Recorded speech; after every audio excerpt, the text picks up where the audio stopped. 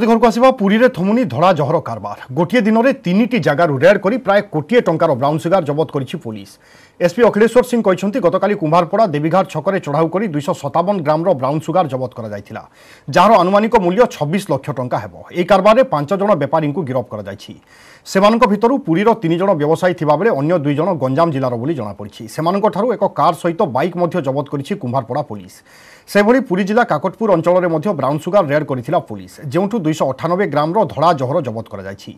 ଯାହାର ମୂଲ୍ୟ ତିରିଶ ଲକ୍ଷ ଟଙ୍କା ହେବ ବୋଲି ଅନୁମାନ କରାଯାଉଛି ଏହି କାରବାରରେ ଛଅ ଜଣ ବେପାରୀଙ୍କୁ ଗିରଫ କରିଛି ପୋଲିସ